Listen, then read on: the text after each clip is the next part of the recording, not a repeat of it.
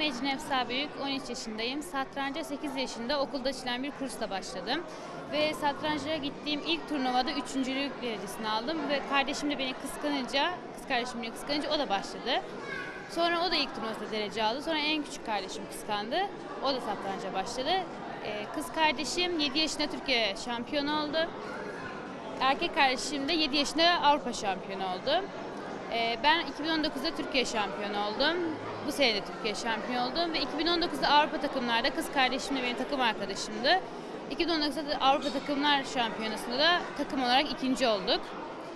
Ee, yine 2019'da da Avrupa yaş gruplarında üçüncü oldum. Hedefin nedir? Hedefim bu sene yine Avrupa yaş gruplarına VFM ünvanını almak. Hedefim çok yok ama bu yıl Avrupa şampiyonu olmak ve bir ünvan kazanmak. Senin hedefin nedir? CM ünvanını almak.